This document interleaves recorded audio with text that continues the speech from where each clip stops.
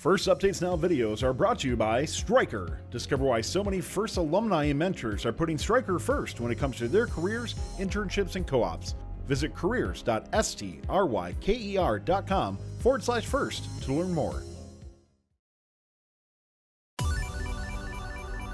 Hi, I'm Yager back with First Capital RI3D, and we're here with another color sensor test. Uh, we decided we wanted to go back and check um, to see how the color sensor responded when it's looking through a piece of Lexan, as if you were looking uh, from the bottom of the of the wheel instead of just from the top.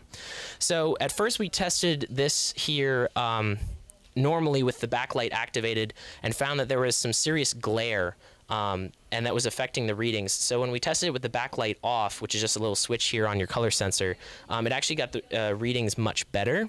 And you can see here we're using a very scratched piece of Lexan, which is like your worst case scenario that you'd be able to find. We wanted to test it with that.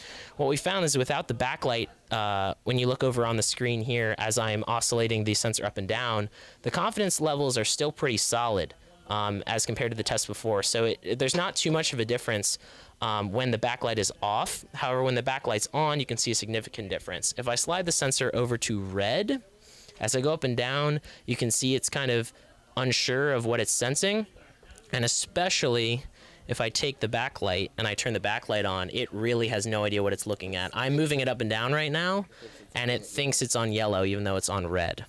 So that is that test. And Steven's going to explain to you a little bit about what that means for you guys.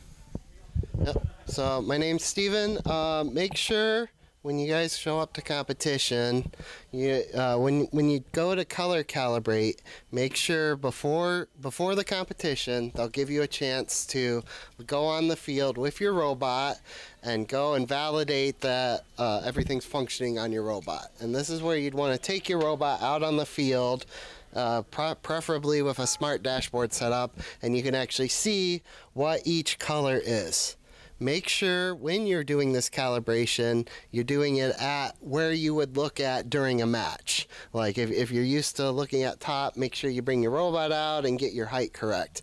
Because any differences that we've seen, it, we see a lot of differences.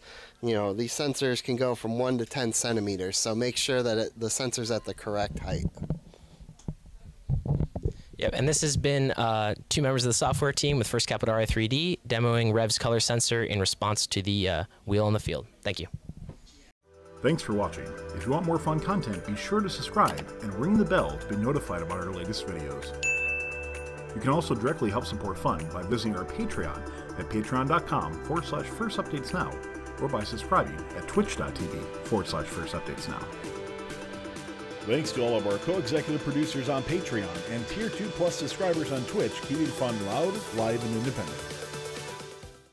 Thanks to Rev Robotics and all of our First Capital RI3D sponsors.